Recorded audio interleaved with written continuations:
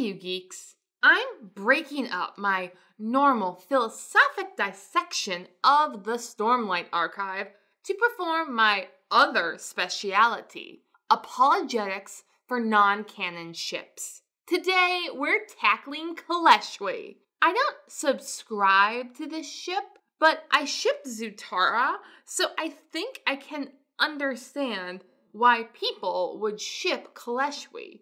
And I must admit, it has its moments. So here is the best I can fathom for Kaleshwi's premise, ship, and defense. Let me know down in the comments if I missed anything. There will be spoilers through Rhythm of War. The premise. We meet Kaladin as a slave in the Way of Kings who may have had a girlfriend once. Tara is mentioned in passing, but it seemed he was destined as the series' young male lead to end up with Shallan, the series' young female lead. He was a punk, she did ballet. What more can I say? And then we got that odious love triangle in Words of Radiance and Oathbringer between Kaladin, Shallan, and Adolin, ending with Shallan choosing Adolin and marrying him. Thus, everyone's favorite flying bridge boy enters into Rhythm of War flying solo. solo, solo. On the other side of this pairing, we have Leshwi. She enters in Oathbringer, trying to kill Moash. A noble goal, but short lived as he kills her. Then she returns to Moash because she finds him intriguing. Why would I destroy that which has such passion? Instead, I watched you, curious to see what you did. I saw you help the singers who were pulling the sledges. I know I might have jumped on the Moash hate train a bit early, but by the end of Oathbringer, that train had gained considerable momentum because he killed Elhokar, a path on which Leshwi aided him. Moash walked the streets of the conquered town by himself. Lady Leshwi had ordered that Moash be left alone, freed.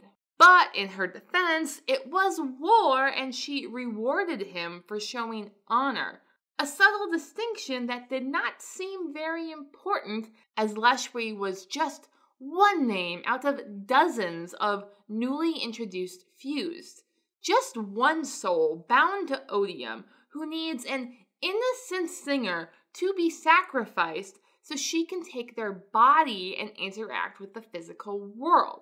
So I was unsurprised that she not only freed F Face, but promoted him.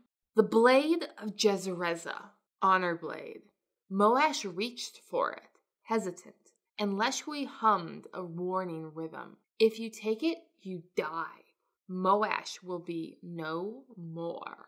And she never shared page time with Kaladin. Thus, if any shipping of these two occurred after Oathbringer, it was extremely remote. Until the Rhythm of War early release chapters. Kaladin searches her out on the battlefield.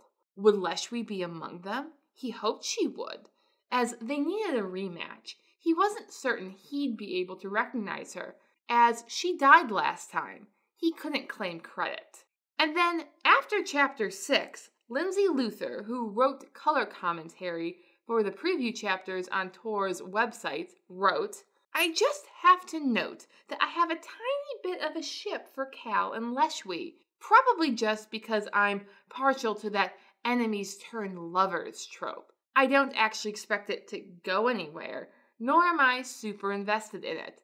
I wouldn't be upset if it happened.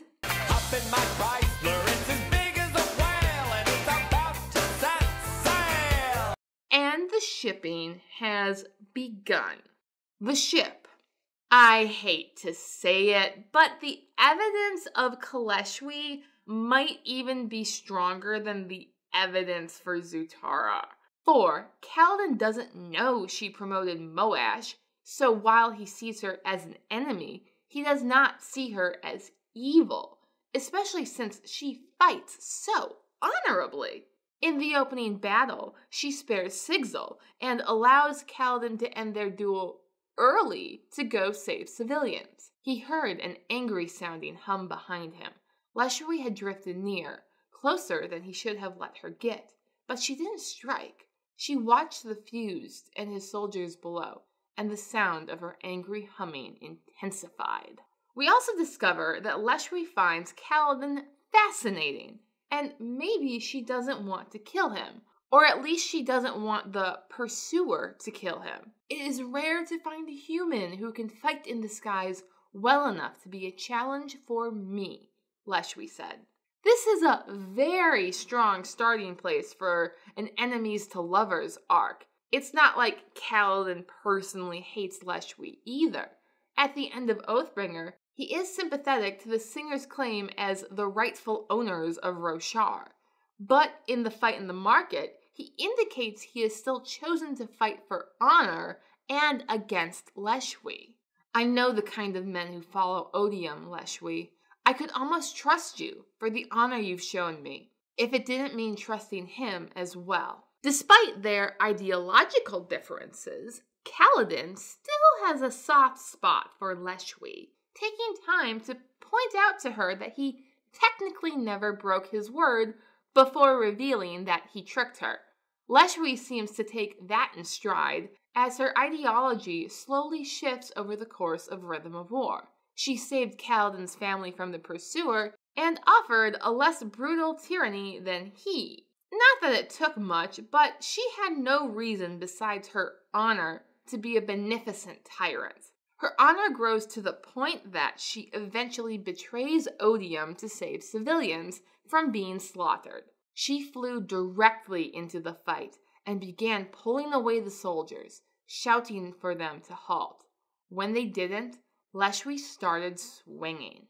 Though it still takes her a hot moment to realize that she has, in fact, betrayed Odium and joined the side of the humans, Kaladin's side, which he welcomes her with open arms, even sharing his armor.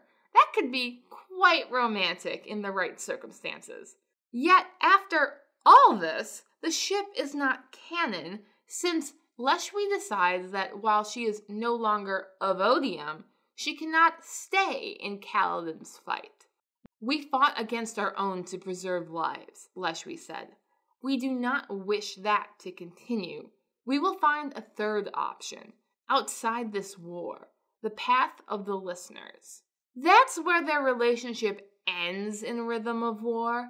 Not in love, but I'll admit there is strong potential. The defense. There are three big objections to Kaleshwi, above and beyond the basic they're just not that into each other. First is that they were enemies. She's killed his friend, which Kaladin had taken very, very personally. And he's killed her. However, in fantasy, when has this ever been a reason not to ship a couple? Four of you have tried to kill me in the past. One of you succeeded. Many people, myself included, find a couple locked in epic battle against each other and their raging hormones to be wonderful shipping fodder. So this is almost a plus that some people will just never understand. Besides, how could he ever find out about this? Second is the age difference. Kaladin is in his early 20s, and Leshwi is thousands of years old. I'm not going to say that age is just a number, but when you have two full adults without any close familial or blood relationship between them, it's hard to say that there's anything wrong with the age gap, especially when the elder is functionally immortal. Aragorn and Arwen are the second most iconic pairing from The Lord of the Rings. It is mine to give to whom I will. Like my heart. Arwen is not only ages older than Aragorn, but they are both descendants of Eärendil and Elwing, though that does not make them closely related in the creepy sort of way. But it's a bit odd that he grew up in her father's house. However, Arwen was in Lothlorien while Aragorn grew up, so that awkwardness was avoided. Comparing those two to Kaladin and Leshwi, their age difference seems quite trivial. Finally, there's that troubling part about Leshwi that she's not just Kaladin's enemy, but literally sold her soul to odium, like Meg from Hercules. Aren't we forgetting one teensy weensy but ever so crucial little tiny detail? I own you! Now, that wasn't a turnoff for Hercules, though Meg never did become a Disney princess.